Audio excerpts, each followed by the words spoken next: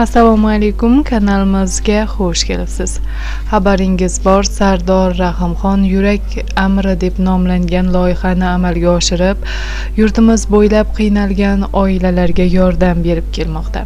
Loyihaning yana bir qismi oltmish kabutar deb nomlangan ajoyib loyiha ham amalga oshirildi. Unda oltmish nafar ota onasini yo'qotgan bolalarga quvonch ulashildi. Sardor rahimxon instagram sahifalari orqali ushbu loyihadan olingan fotosuratlarni muxlislariga havola etdi.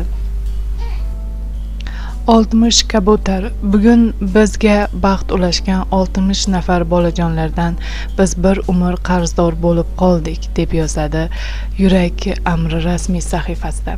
Alloh hamma bugungi yangi loyihaga hissa qo'shganlardan rozi bo'lsin.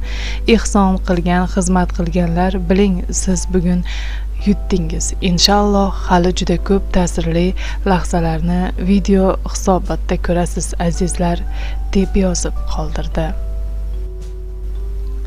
Biz ham ushbu loyihaga yurak amri loyihasiga chin dilimizdan rivoj tilaymiz. Sardor rahimxon qilayotgan ushbu ezgu ishlari va unga yondosh bo'layotgan aziz insonlarga baxt omad oilaviy xotirjamlik tilab qolamiz.